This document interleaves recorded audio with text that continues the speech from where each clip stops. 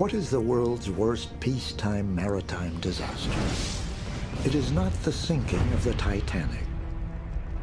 It is this ship, the ill-fated Doña Paz, that just five days before Christmas in 1987 sailed into infamy with a loss of possibly 4,000 souls, many of them burned alive in this inferno at sea.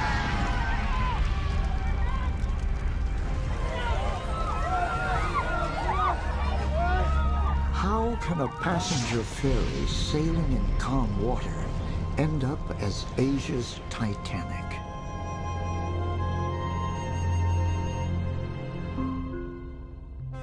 Passenger ferries like the Doña Paz were among the cheapest and the most popular ways to travel in the Philippines, a country in Southeast Asia comprising over 7,000 islands. Just five days before Christmas, hundreds of people boarded the Doña Paz for a 24-hour voyage that will take them from the island of Leyte to the capital of the Philippines, Manila. The Doña Paz was authorized to carry a maximum load of 1,518 passengers. But on the night of the accident, survivors say there may have been more than 4,000 people on board. Up to four people shared makeshift cots while hundreds sat on the floor of the three-deck ship. A machine gunner and survivor of many battles in the provinces, Lutgardo Nieto was looking forward to a family reunion in Manila. It was so crowded, Lutgardo Nieto said, the Doña Paz tilted to one side. Before I rode the ship, I noticed it was tilted to one side. I told myself it must really be loaded, but it could not be avoided since it was nearing Christmas. It was really tilted. Inside the ship, there was no room for the people to move. Many of the passengers that boarded the Doña Paz were entire families with young children. It was going to be an exciting adventure for Aludia Baksal, only 18 years old. She decided to skip her Christmas party at school and join her father, Salvador, to spend Christmas in the country's capital. But only minutes into the voyage, Aludia realized the journey itself would be far from glamorous. There were so many people. We were like cockroaches or ants. There were just so many of us. People were getting restless. The children were crying and it was very noisy. There was a family beside me. I felt for the children because this family was crammed into one cot and they had so much luggage. The passengers could not sleep because there was no space to lie down. There was hardly any space to sit down. 43-year-old fisherman Salvador told Aludia not to leave their family's only cot.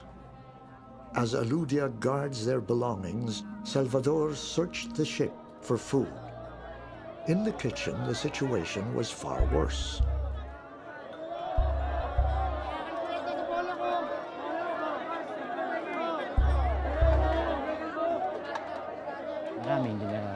It was a struggle to get food, so many passengers didn't get to eat. Those who were weak, old, not as alert as the rest, and those who had a hard time walking, those people went without food because they had no choice. They suffered through it.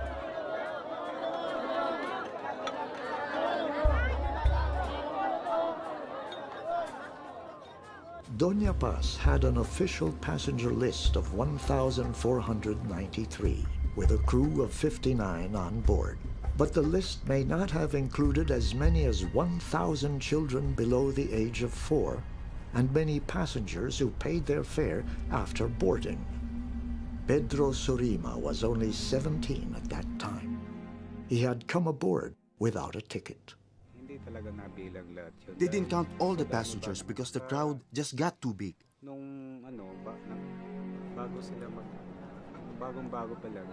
At first, they asked for your ticket before they let you aboard the ship. Parang take it muna bago... But later on, anyone could just get on. matagal na, eh, kahit na sino, pwede na umakyat. A lot of chance passengers were able to ride that ship. Mga chance passenger.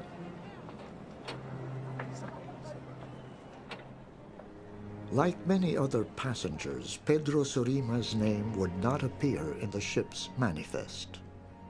Also not in the passenger list were Philippine military soldiers and police units on their way home for the holidays. They came aboard in the hundreds, some still bearing weapons and wearing their uniforms. Lutgardo Nieto was one of them.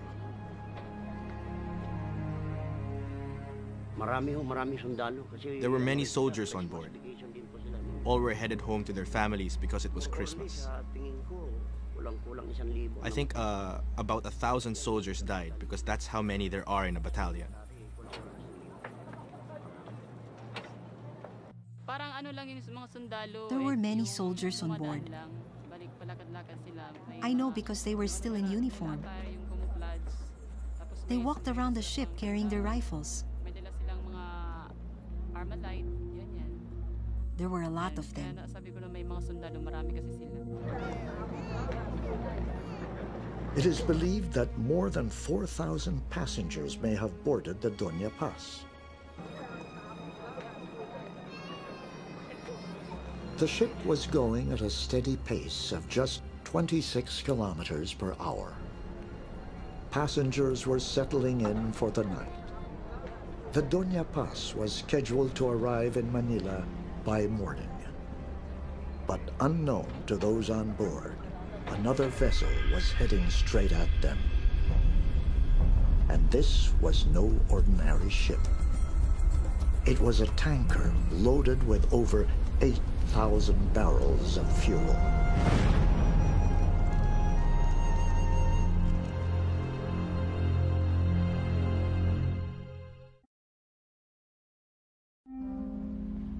Just five days before Christmas, the Doña Paz crashed into the record books as a disaster even greater than the sinking of the Titanic.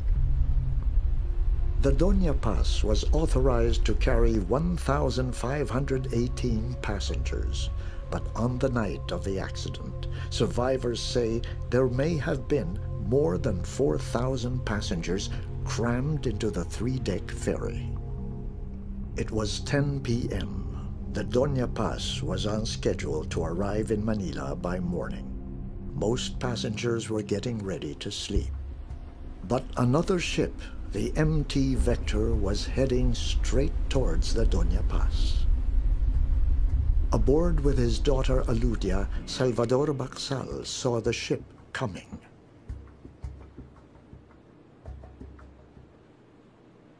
Nasa gilid ako ng barko sa I was standing on the side of the ship near the gangway. I was peeing. Tinunod ko talaga yung I noticed that ship immediately. barko na yun. Akala ko nga I thought it was a fishing boat because it appeared small and with many lights.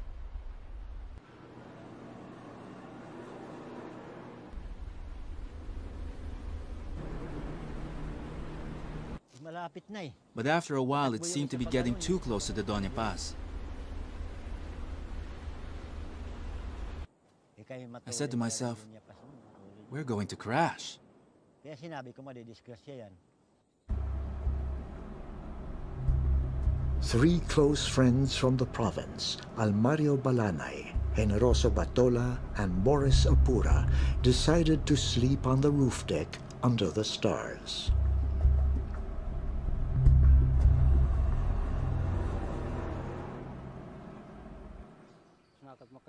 Since we did not have a cot, we decided to stay on the roof deck. The three of us were on the roof deck all day until evening. We had just settled in for the night, but after around five minutes, we heard a loud sound and felt something bump into us.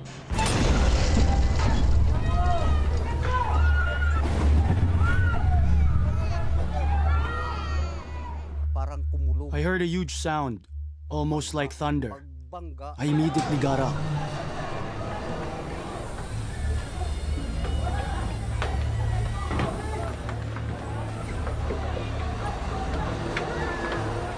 With no sound of alarm and without any warning from the ship's officer and crew, the Doña Paz collided with the MT Vector.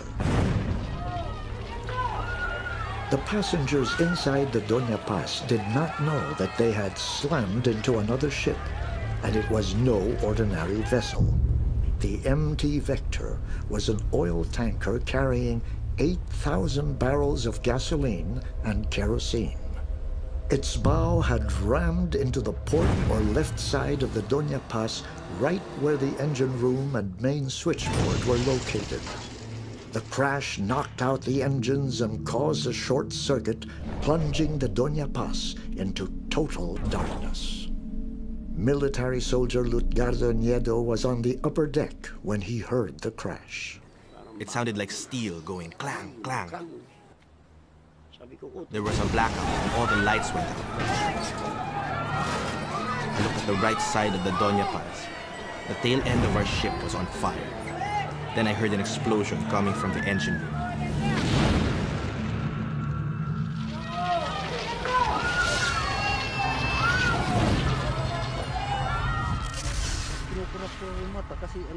I kept blinking and rubbing my eyes, thinking I was dreaming. I ran to the other side and saw a smaller ship burning. We ran towards the side of the ship to see what was going on. We saw the ship burning.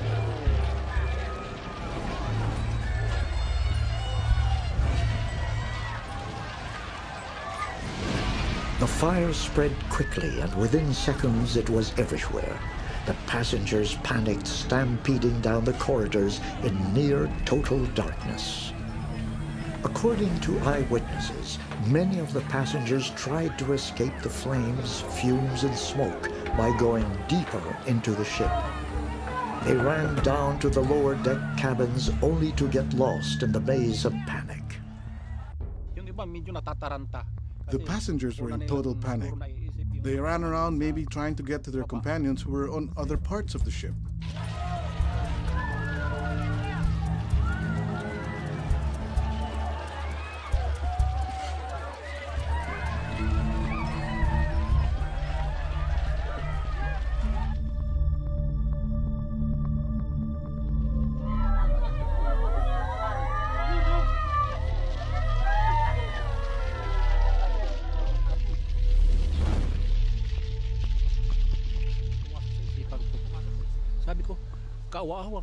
I felt so much sorrow. Those poor people, there were so many who were going to die tonight. While some passengers were trapped inside the burning ship, hundreds of others near the ship's railings jumped overboard.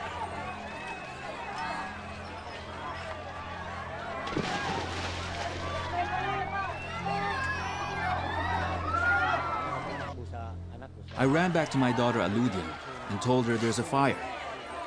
Aludia slumped to the floor and started crying. I told her to be quiet and we were going to jump overboard. It was too late to get a life jacket.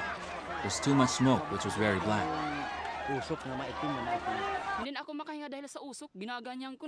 I could not breathe from the smoke. The smoke was thick, very black. I felt that I would die. I saw Papa getting ready to jump. I held onto his shoulder. He gave me a look that said, Hang on, we're going to jump.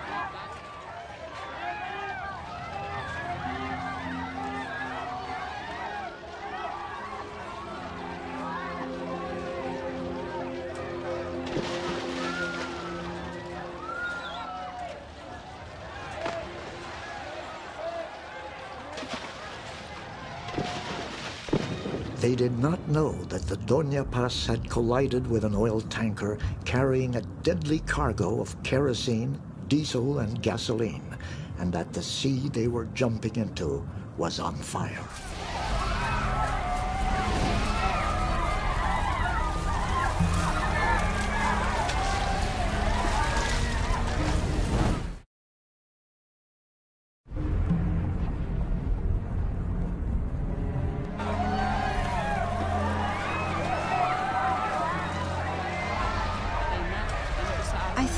Myself, this is an inferno. A fire in the middle of the sea. We would probably die here.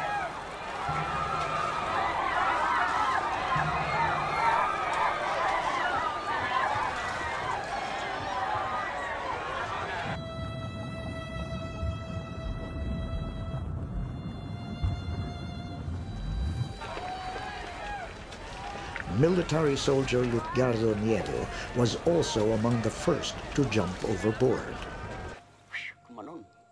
It went pshoo. Around a minute after, the ship exploded, right where the engine was. Boom.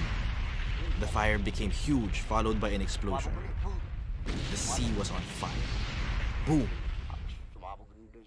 The Vector also exploded. The oil drums were flying, and they fell and hit the sea. Gasoline and diesel spread in the water. I felt that was it for us. All we did was to swim and swim. Every time we saw the waves that were on fire come our way, we dove deep into the water.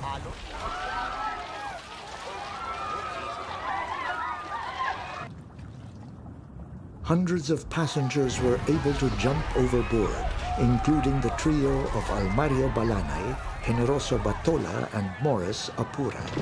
They watched the last seconds of the Doña Paz. The waters surrounding the sinking ships were covered with oil, gasoline, and kerosene. They must dive into the ocean to escape the flaming surface and swim their way outside the deadly ring of fire. The fire was huge. The flames grew to almost a kilometer wide. As the wind blew, the flames grew even bigger. What I did was to stay underwater to avoid the flames. When I felt the surface was hot, I swam further away to avoid it. Finally, when I reached a safe spot away from the flames, I started to cry.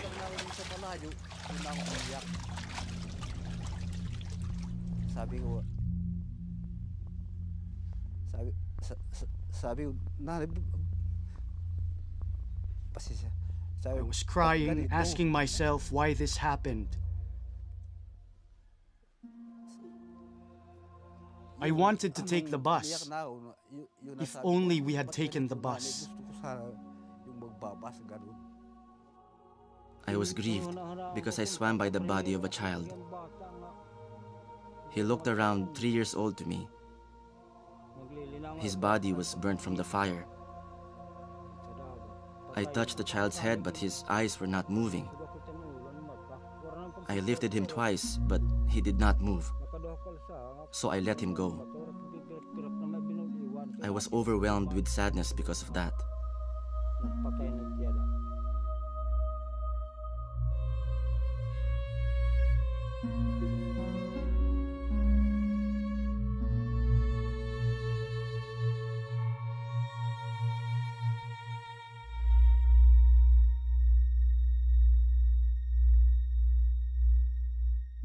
For those who jumped from a burning ship to a burning sea, the nightmare was just beginning.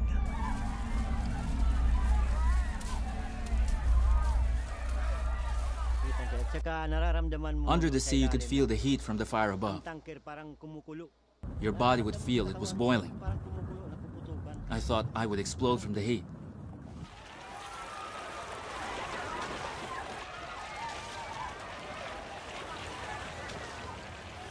A fisherman and experienced diver, Salvador watched helplessly as bodies float past him. He feared the worst for his own daughter, Aludia. Ang akala ko sa kanya, kung totoo man nakatalon, ano, dahil hindi ko alam eh. If my child was able to jump, if she were alive, she would shout. Yun na naririnig ako ng...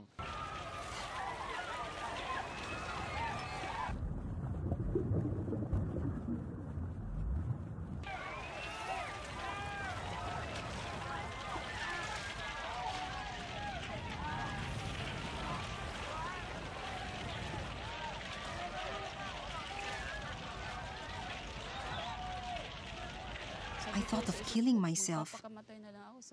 I could no longer bear being in the water. I was too tired from keeping afloat, and I had a hard time breathing.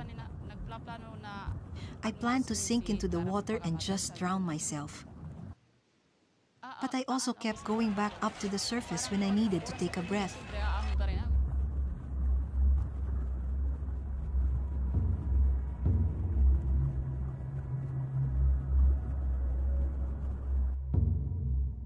Face got burned, my hands got burned here, and here, here too.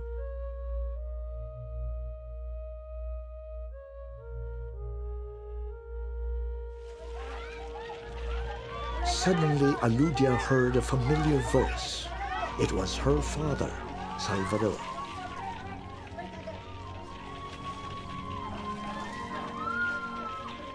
I heard my father's voice. I shouted, Papa! He was shocked to hear my voice. I'm here, Alud. Where are you? I replied, Over here. Where are you? Papa was surprised that I was just near him. He grabbed hold of my hand, but it was burned and my skin just peeled right off. It was very painful. I asked him not to touch my hand. Reunited with his daughter in the burning water, Salvador felt a surge of relief and a strange sense of peace. It flashed across my mind that I was ready to die at that moment. I finally found her and heard her voice again. We could now die together. In the meantime, I vowed never to leave her side. They would swim for more than an hour in what seemed like an endless wait for rescue that was nowhere in sight.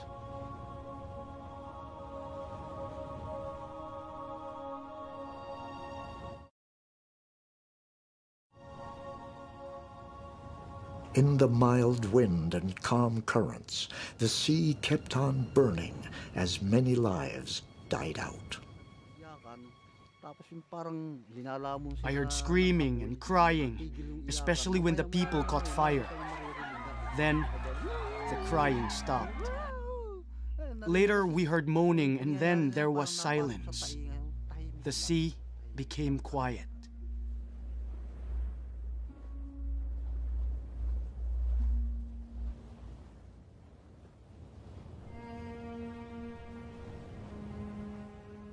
In the days to come, the real horror of the tragedy became clear.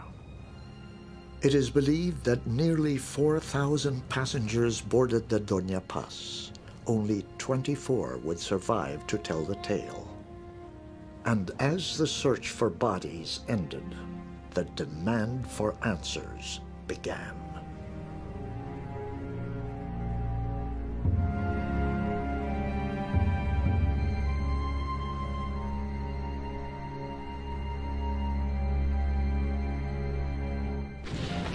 Was the world's worst peacetime maritime disaster. A collision between the passenger ferry Doña Paz and an oil tanker in the Philippines.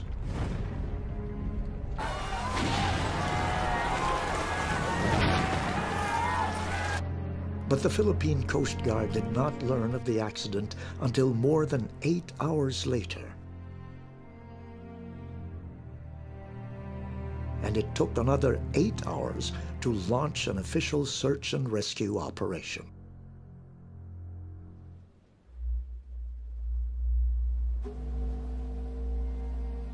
Luckily, help arrives in the form of a passing ship, the Don Claudio. By then, the survivors have been swimming for more than an hour. Father and daughter, Salvador and Aludia, saw the light from afar.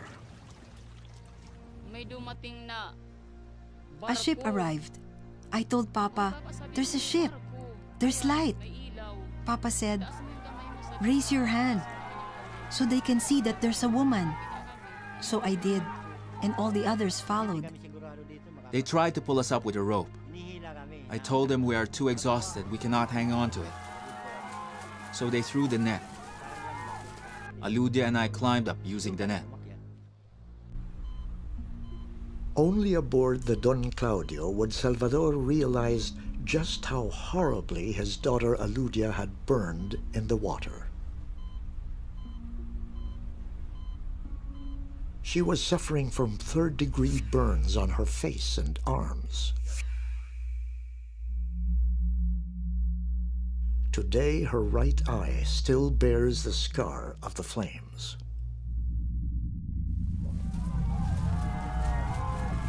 The trio of Almario Balanay, Generoso Batola, and Morris Apura would reunite aboard the Don Claudio.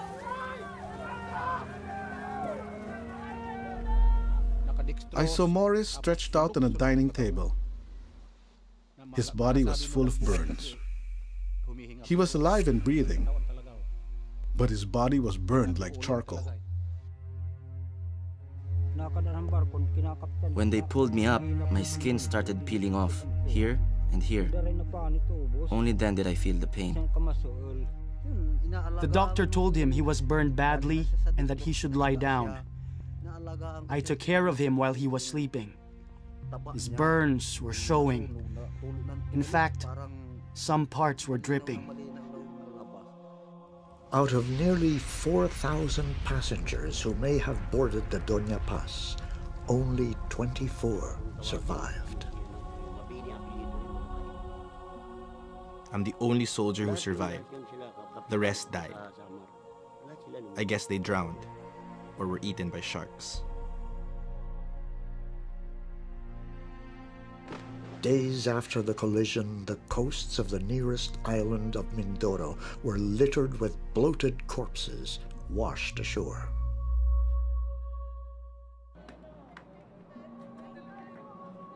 Villagers dug holes in the sand to bury them.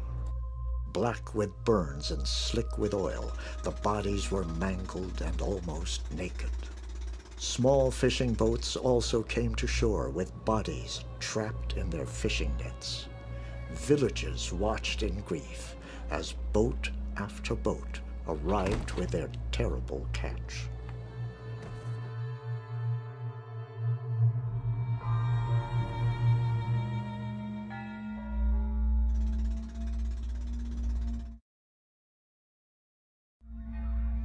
Grief-stricken and outraged relatives stormed the office of the Sulpicio Shipping Lines, owner of the Doña Paz.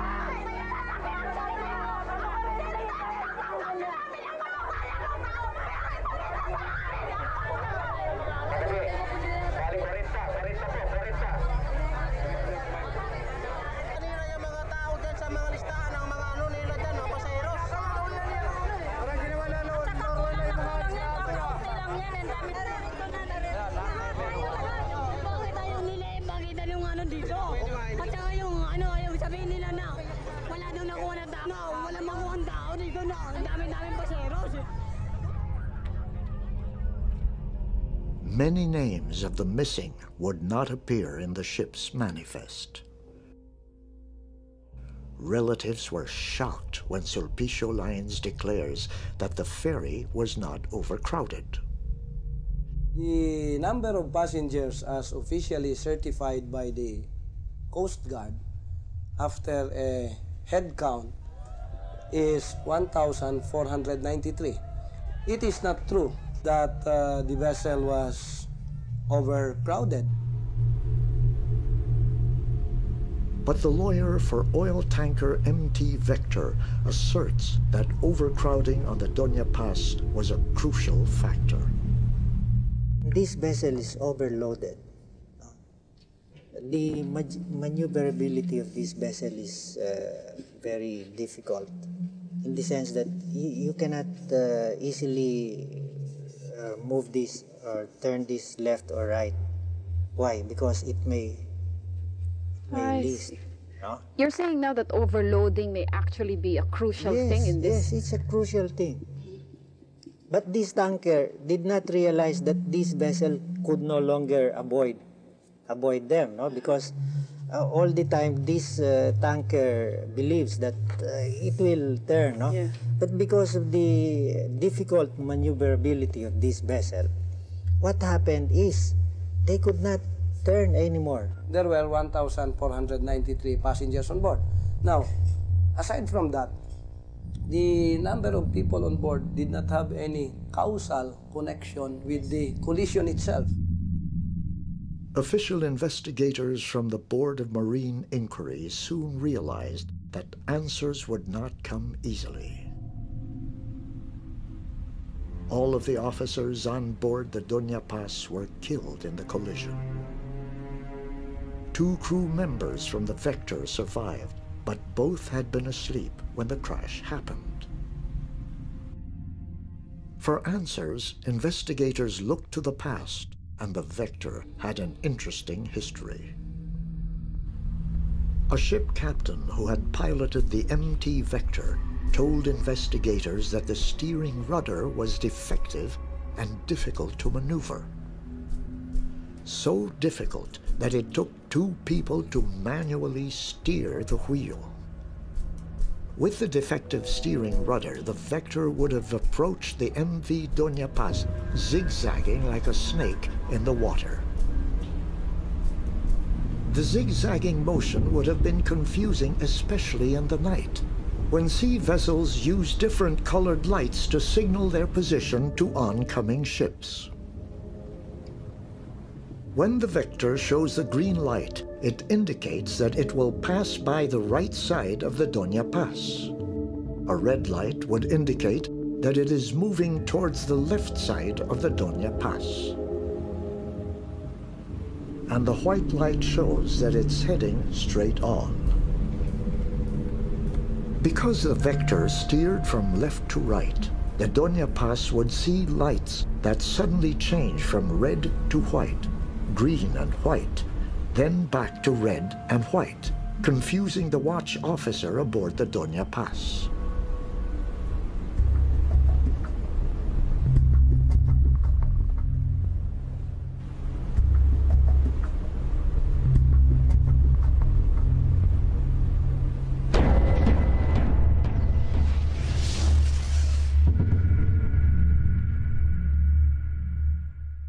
Investigators found other disturbing problems.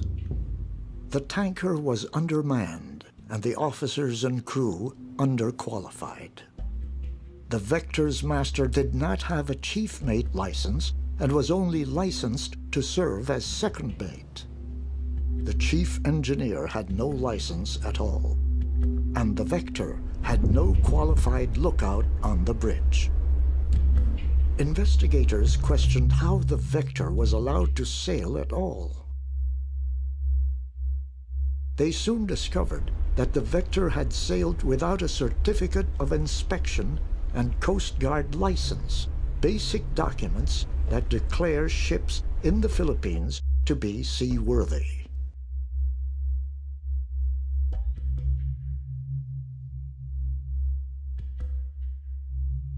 The evidence mounted against the Vector, but one crucial point mystified experts. Even if the Vector had approached in a winding motion, why didn't the Doña Paz simply avoid it? The international rules at sea state that if two ships are on high risk of a head-on collision, each must alter her course to starboard or right side to avoid each other. Why did the Doña Paz and Vector get too close?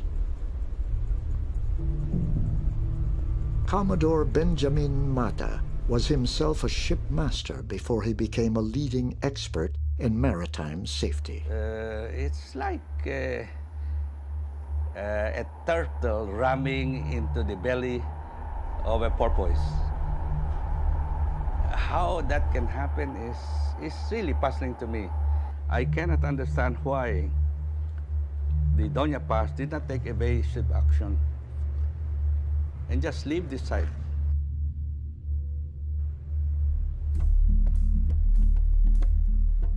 The ships were moving slow. The Doña Paz at 26 kilometers per hour, the Vector at 8 kilometers per hour. They were surrounded by wide open sea, plenty of space to avoid a crash. Could it be that no one was watching? The officer on watch on the tanker might have fallen asleep. In the same manner, the officer on watch on the Doña Paz also could have fallen asleep. Because why did he allow his ship to come very close to the tanker? When you have so much space on both sides to maneuver, to get out of the way of this ship that is uh, showing a different set of lights every five minutes. All the officers and crew of the Doña Paz went down with the ship, and the whole truth may never be known. Experts also wondered why the Doña Paz and Vector did not communicate with each other just before the crash. Well, that again is a requirement. It's an international requirement that all ships must be equipped with VHF radio in situations where ships are in sight of each other. They can use the radio to communicate and ask the other ship what his intentions are. And this should be done long before a possible collision will occur. The Vector was discovered to have an expired radio license, and the radio license of Doña Paz turned out to be fake.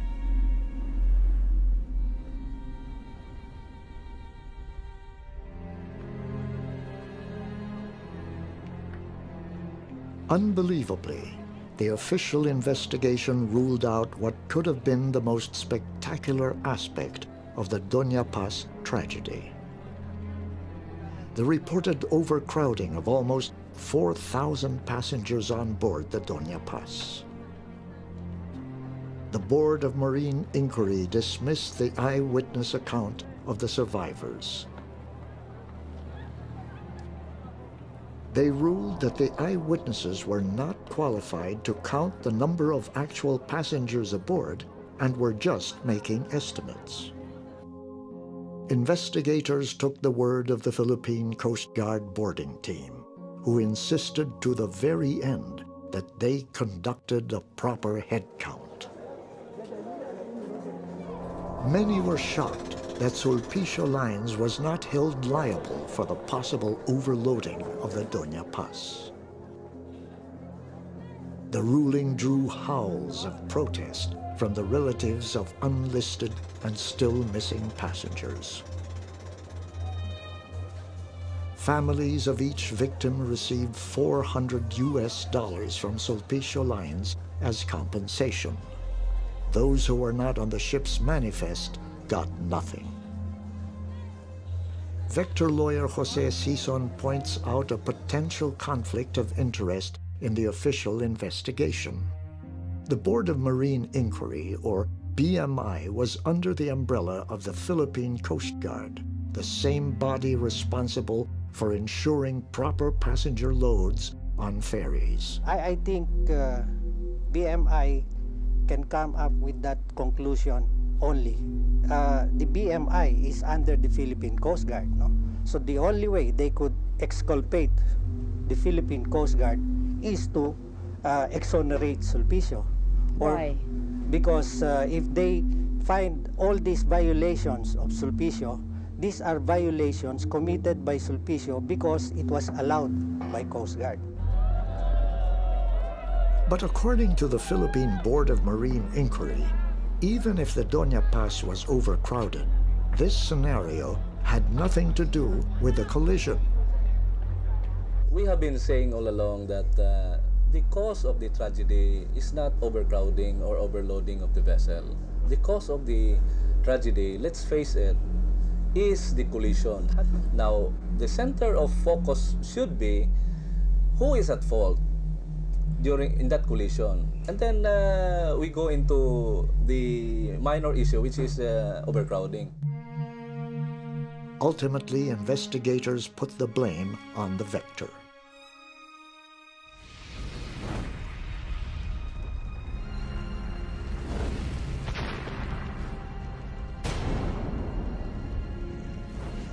But one burning question remained. Why didn't the captain and crew of the Doña Paz take evasive action? Shocking allegations later surfaced from survivors. So they were having fun? They were having fun, not the passengers. Hindi yung pasaheros. Yung, Are you talking about the first class passengers? hindi, yung mga I'm talking about the crew of the ship.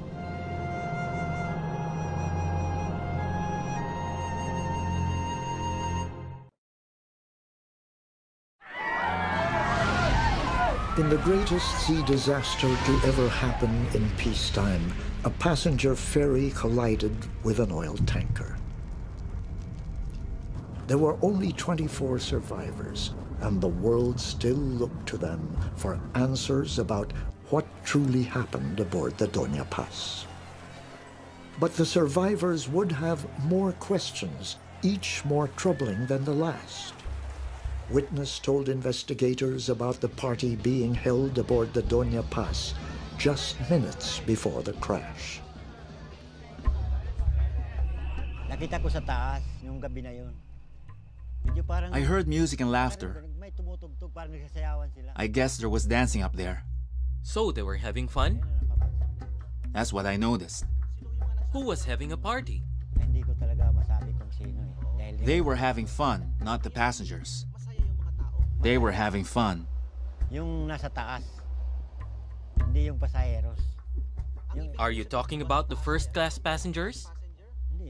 I'm talking about the crew of the ship. Another survivor, military soldier Lutgardo Nieto, recalls that a fellow soldier had told him about the same party at the bridge, and that disturbingly, the captain was among them. The soldier told me that he'd been going around the ship and he was specific that he came from a party at the bridge.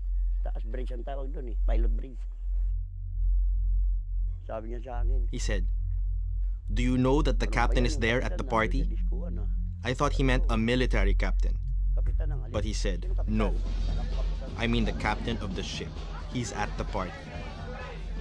I told him not to mind so much because I'm sure a chief mate relieved the captain. But after a few minutes, we crashed. I thought to myself, what the soldier told me must have been true. Who was manning the bridge when the accident happened? Was it a qualified officer? According to some survivors, an apprentice mate may have been steering the ship.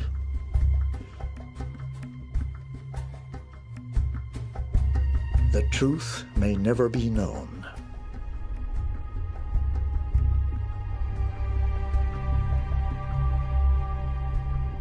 In the years after the Doña Paz tragedy, shipping disasters continued to plague the Philippines. In 1988, nearly a year after the tragedy, the Doña Marilyn, a sister ship of the Doña Paz, sank off the central province of Leyte, killing some 300 lives.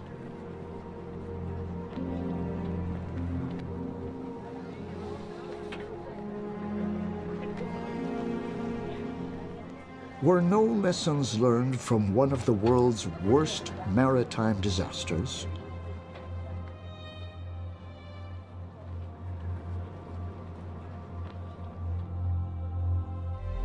Has been 20 years since that fateful December day.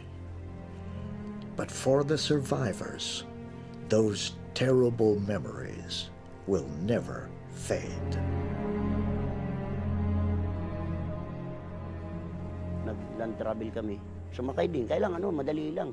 From Matnong to Alin lang eh. These days, Mga one hour traveling by land or air is easy and a lot faster. So to take the ferry from Manila to Leyte, No. I don't want to ride a ship again.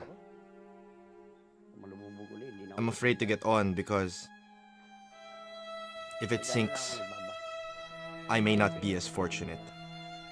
I'll just take the plane. It's faster. I don't want to ride a ship again. I won't, even if it's for free. As I was there watching it happen, I prayed to God that He let me live because my family needs me. They depend on me, and I promise to serve them till my last breath. They are the reason why I fought to stay alive that night.